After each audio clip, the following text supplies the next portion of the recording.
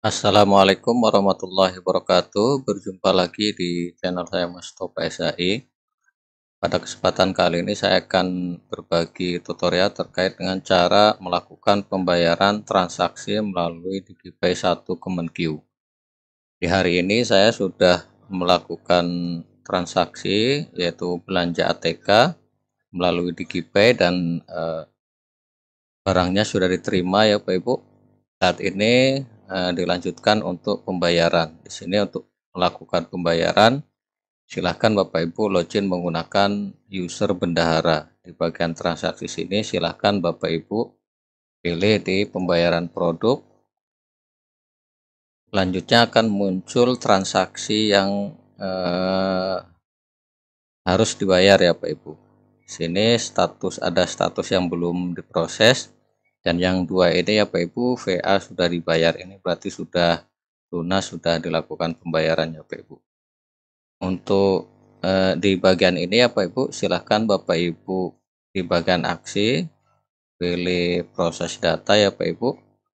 Kemudian ke bagian sebelah kiri sini silahkan Bapak Ibu lakukan generate kode pemesanan.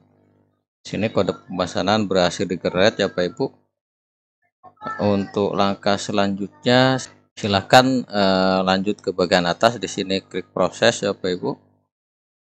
Ini sedang diproses data berhasil disetujui. PA menunggu dibayar ya Bapak Ibu. Untuk VA nya Bapak Ibu untuk melihat VA nya silahkan Bapak Ibu klik di sini lagi. Kemudian eh, klik di sini ya Bapak Ibu petunjuk tunjuk pembayaran, klik di sini. Di sini ada virtual account-nya ya Pak Ibu. Virtual account yang hasil generate dari DigiPay. Silahkan Bapak Ibu kopikan di sini ya Pak Ibu.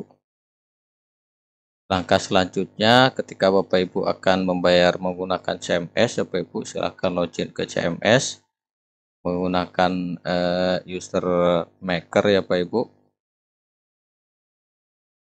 kemudian pilih di fund transfer single FT kemudian add.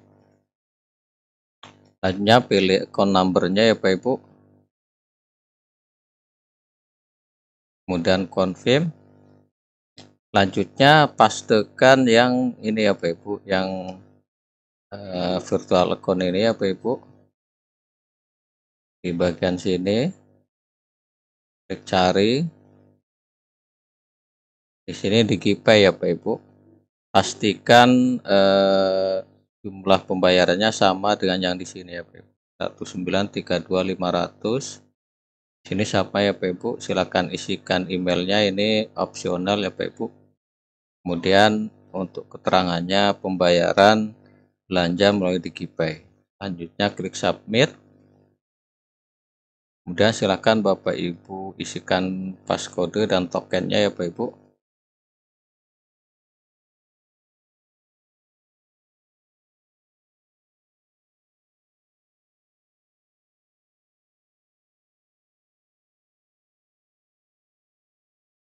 Wah, setelah diverifikasi di sini ya Pak Ibu, silakan Bapak Ibu di approve.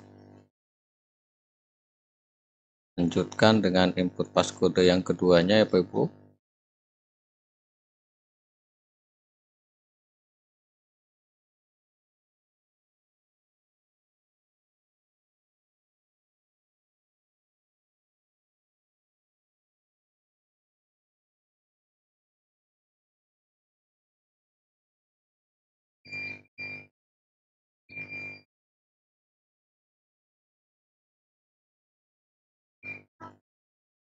Silakan cek di query ya Pak Ibu apakah sudah sukses pembayarannya. Nah, sini masih proses ya Pak Ibu.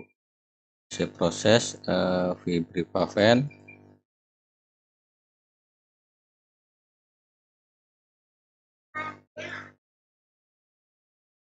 sini transaksi sukses ya Bapak Ibu transaksinya sudah sukses silahkan Bapak Ibu bisa cetak bukti transfernya atau pembayarannya bisa yang report bisa juga yang slip ketika sudah dibayarkan di sini Bapak Ibu silahkan Bapak Ibu ke bagian DigiPay lagi ya Bapak Ibu Silakan Bapak Ibu cek kembali di bagian pembayaran tadi.